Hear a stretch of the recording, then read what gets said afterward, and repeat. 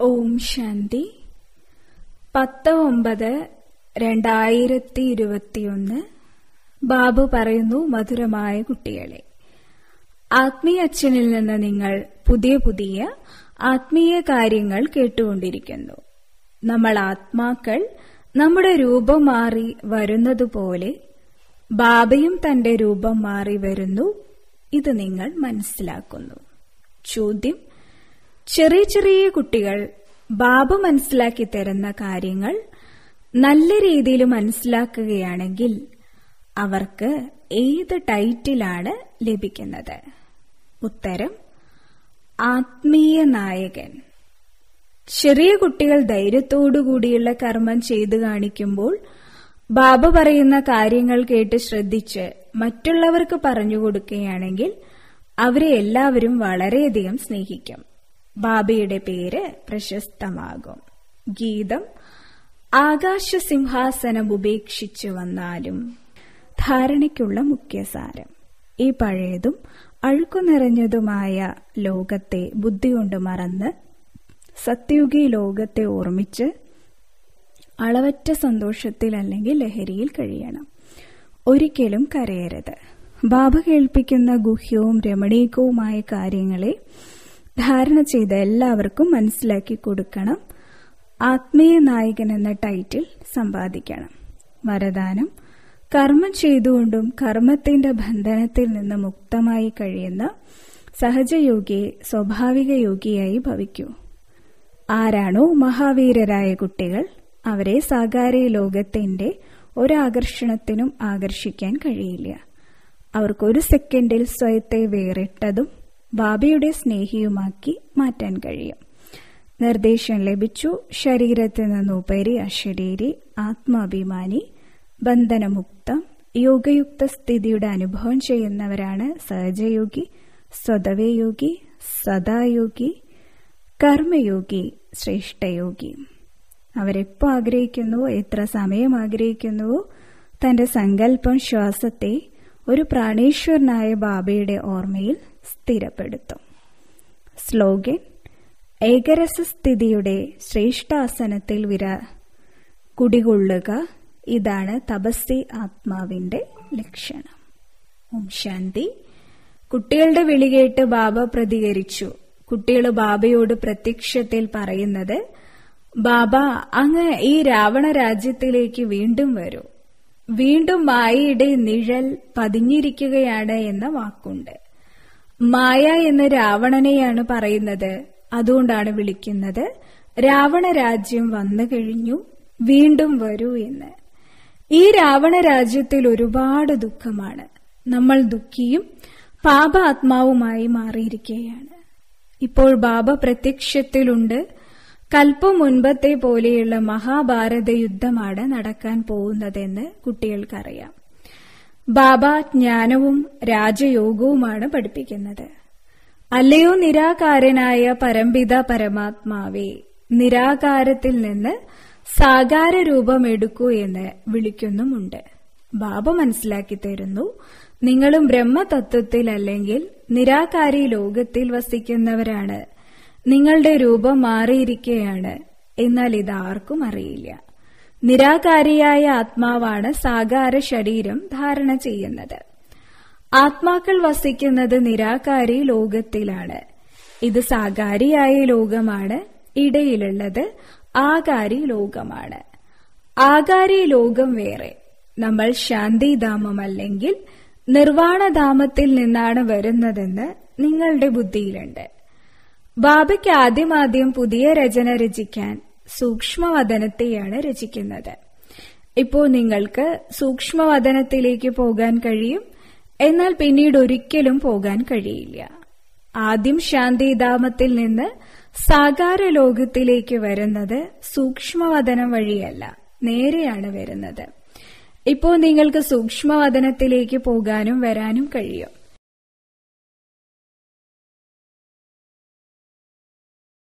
ഇവിടെ കാൽനടയായി പോയി വരേണ്ട ആവശ്യമില്ല.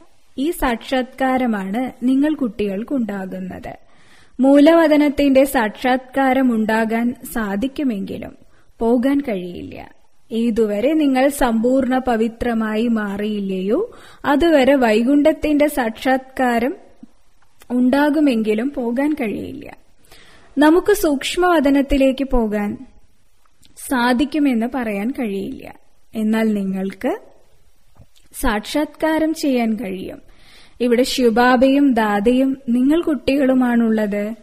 നിങ്ങൾ കുട്ടികൾ എങ്ങനെയെല്ലാമുള്ള ആത്മീയ കാര്യങ്ങൾ കേൾക്കുന്നു. പക്ഷേ ഈ കാര്യങ്ങളെയൊന്നും ലോകത്തിലുള്ളവർക്ക് അറിയില്ല നിരാകാരിയായ ലോകമാണെന്ന് പറയുന്നുണ്ടെങ്കിലും ആ ലോകം എങ്ങനെയുള്ളതാണെന്നൊന്നും മനസ്സിലാക്കുന്നതേയില്ല. ആത്മാവിനെ തന്നെ അറിയില്ലെങ്കിൽ പിന്നെ എങ്ങനെ നിരാകാരിയായ ലോകത്തെ അറിയുന്നു. ബാബയാണ് ആദ്യമാദ്യം വന്ന് ആത്മാവിനെക്കുറിച്ചുള്ള തിരിച്ചറിവ് നൽകുന്നത്. നിങ്ങൾ ആത്മാവാണ് പിന്നീട് രൂപം മാറ്റിയത് അതായത് നിരാകാരിയിൽ നിന്ന് സാകാരിയായി മാറിയത്. ആത്മാവ് എങ്ങനെ എൺപത്തിനാല് ജന്മങ്ങൾ എടുക്കുന്നുവെന്ന് നിങ്ങൾ മനസ്സിലാക്കി കഴിഞ്ഞു. ഈ പാർട്ടെല്ലാം ആത്മാവിൽ റെക്കോർഡ് ചെയ്യപ്പെട്ടതുപോലെയാണ്. ആദ്യമെല്ലാം ഇങ്ങനെയുള്ള കാര്യങ്ങളൊക്കെ കേൾപ്പിച്ചിരുന്നു. ഇപ്പോൾ ബാബു പറയുകയാണ് ഞാൻ നിങ്ങൾക്ക് ഗുഹ്യവും രമണീകവുമായിട്ടുള്ള കാര്യങ്ങളാണ് കേൾപ്പിക്കുന്നത്.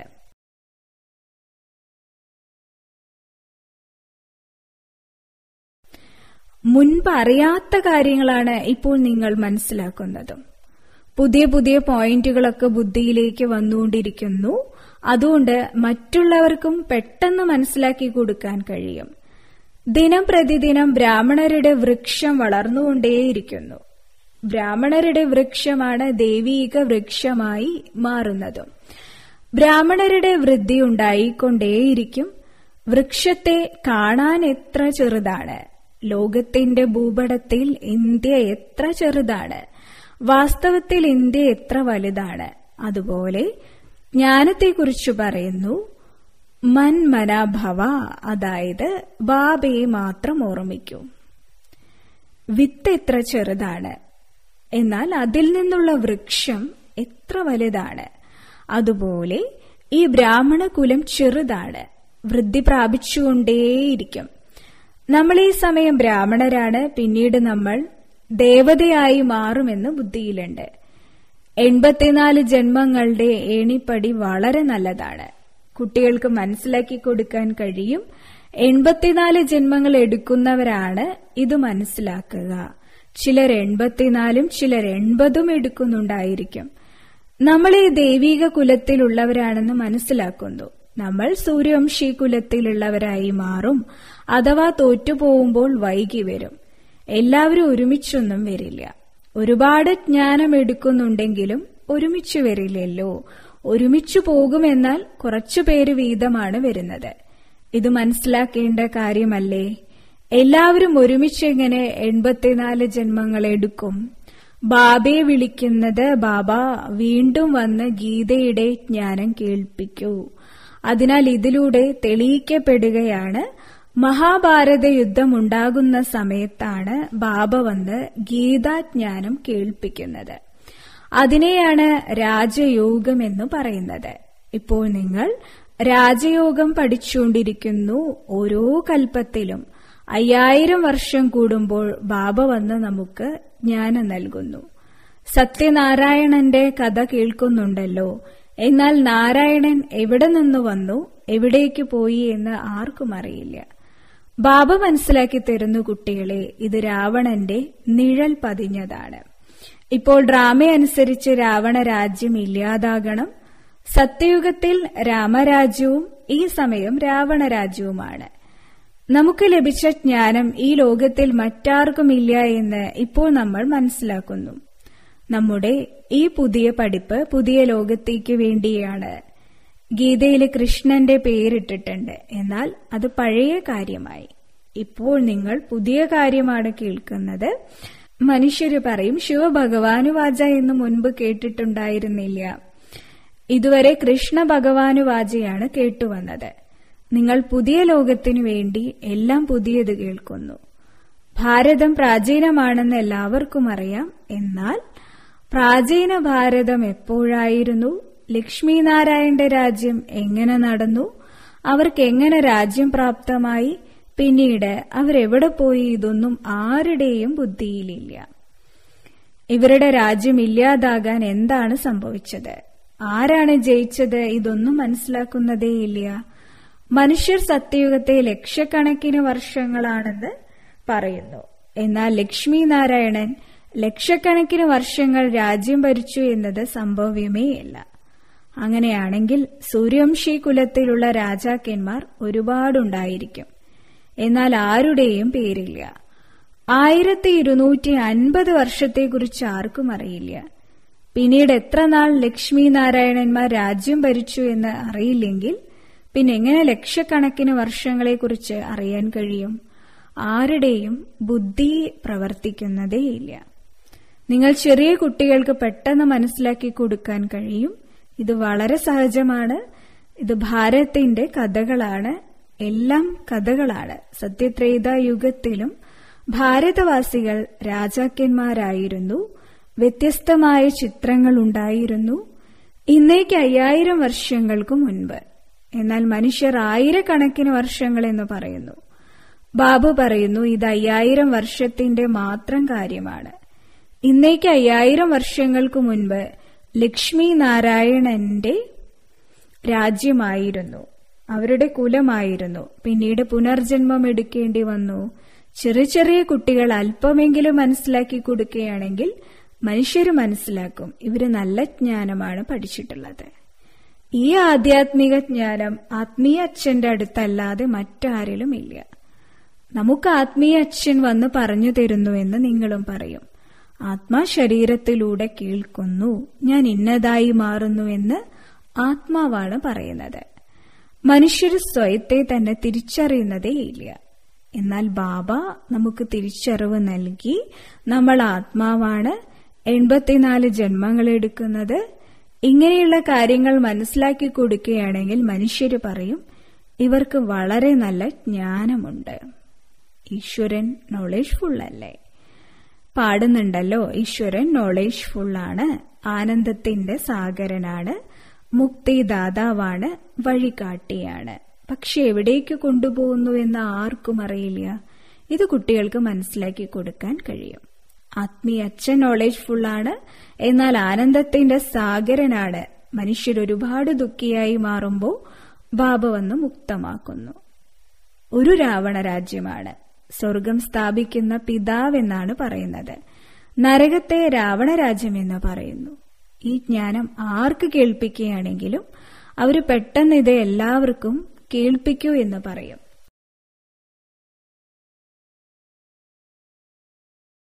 എങ്കിൽ നല്ല ധാരണയുണ്ടായിരിക്കണം. പ്രദർശിനിയിലെ ചിത്രങ്ങളുടെ മാഗസിൻ ഉണ്ട് ഇത് മറ്റുള്ളവർ മനസ്സിലാക്കുകയാണെങ്കിൽ ഒരുപാട് സേവനങ്ങൾ ചെയ്യാൻ സാധിക്കും. ഈ കുട്ടിക്കും ജയന്തി ബാനെ കുറിച്ച് ലണ്ടനിലുള്ള തന്റെ ടീച്ചർക്ക് മനസ്സിലാക്കി കൊടുക്കാൻ സാധിക്കും. ലണ്ടനിലെ സേവനം ചെയ്യാൻ സാധിക്കും. ലോകത്തിൽ ഒരുപാട് ചതിയുണ്ടല്ലോ. രാവണൻ എല്ലാവരെയും ചതിയന്മാരാക്കി മാറ്റിയിരിക്കുകയാണ്. കുട്ടികൾക്ക് മുഴുവൻ ലോകത്തിന്റെയും ചരിത്രവും ഭൂമിശാസ്ത്രവും മനസ്സിലാക്കി കൊടുക്കാൻ സാധിക്കും.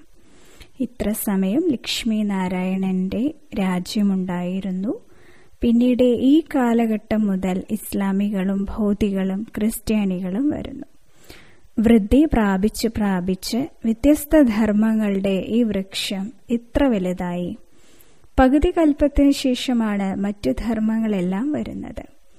ഇങ്ങനെയുള്ള കാര്യങ്ങളെല്ലാം കേൾപ്പിക്കുകയാണെങ്കിൽ കേൾക്കുന്നവർ പറയും ഇവർ ആത്മീയ നേതാവാണ് ഇവരിൽ ആത്മീയ ജ്ഞാനമുണ്ട്. ഇതും പറയും ഈ ജ്ഞാനം ഭാരതത്തിലും ലഭിക്കുന്നു. ഈ ജ്ഞാനം ഈശ്വരനാകുന്ന ആത്മീയ അച്ഛനാണ് നൽകുന്നത്. ബാബ ബീജരൂപനാണ്. പരധാമത്തിൽ വൃക്ഷം തലകീഴായാണ്. ബീജമാകുന്ന ബാബ നോളേജ് ഫുള്ളാണ് ബീജത്തിന് വൃക്ഷത്തിന്റെ ജ്ഞാനമുണ്ടായിരിക്കും. ഇത് വ്യത്യസ്ത ധർമ്മത്തിലുള്ളവരുടെ വൃക്ഷമാണ്. ഇതിനെയാണ് ഭാരതത്തിന്റെ ദേവതാധർമ്മം എന്ന് പറയുന്നത്. ആദ്യം ലക്ഷ്മി നാരായണന്റെ രാജ്യം പിന്നീട് രാമൻ സീതയുടെ രാജ്യം. പകുതി കൽപ്പത്തിന് ശേഷമാണ് വരുന്നത്. ഇസ്ലാമി ബുദ്ധൻ ക്രിസ്ത്യൻ വൃക്ഷം വൃദ്ധി പ്രാപിച്ചുകൊണ്ടേയിരിക്കും.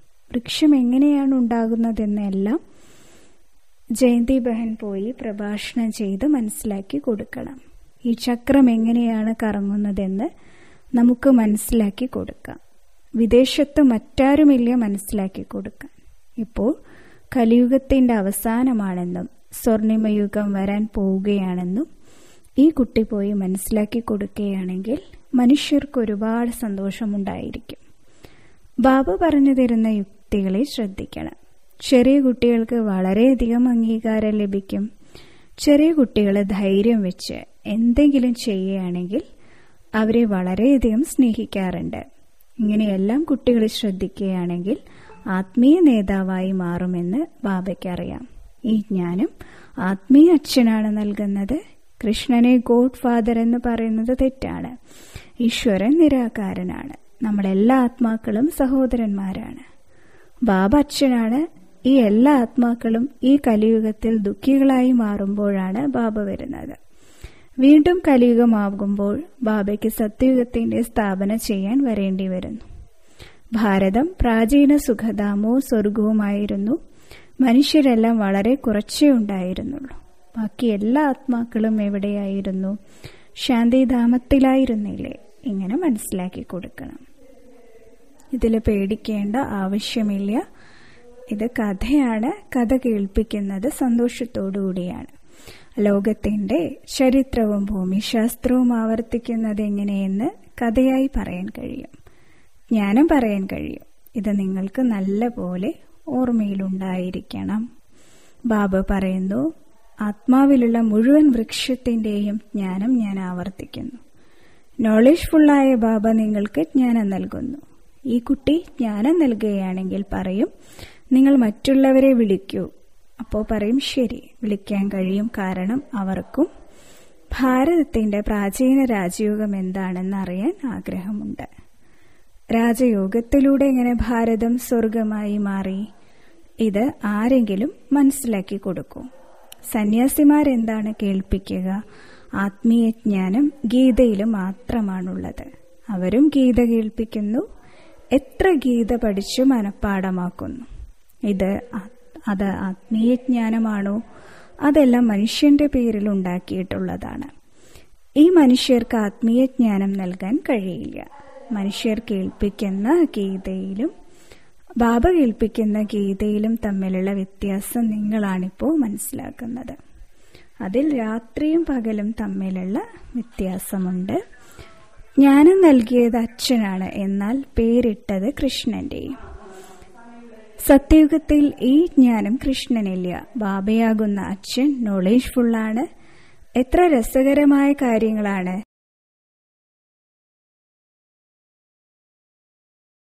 കൃഷ്ണന്റെ ആത്മാ സത്യയുഗത്തിൽ ഉണ്ടായിരുന്നപ്പോൾ ജ്ഞാനമുണ്ടായിരുന്നില്ല.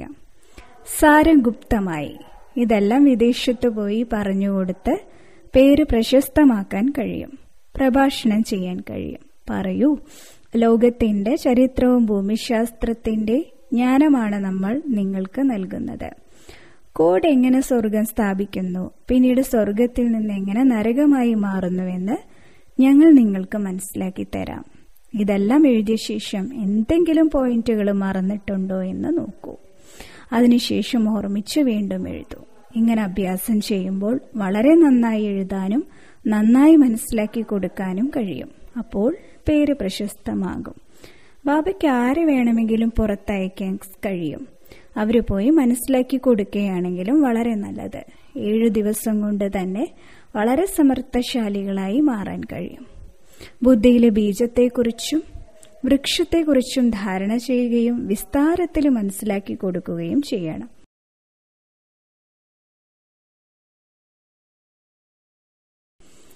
ചിത്രങ്ങൾ ഉപയോഗിച്ച് വളരെ നല്ല രീതിയിൽ മനസ്സിലാക്കി കൊടുക്കാൻ കഴിയും. സേവനത്തോട് താല്പര്യമുണ്ടായിരിക്കണം. അപ്പോൾ വളരെ ഉയർന്ന പദവി ലഭിക്കും. ജ്ഞാനം വളരെ സഹജമാണ്. ഈ ലോകം പഴയതാണ് അഴുക്കു നിറഞ്ഞതാണ്. സ്വർഗത്തിനു മുന്നിൽ ഈ പഴയ ലോകം ചാണകത്തിന് സമാനം. അതിൽ നിന്ന് ദുർഗന്ധം വരുന്നു.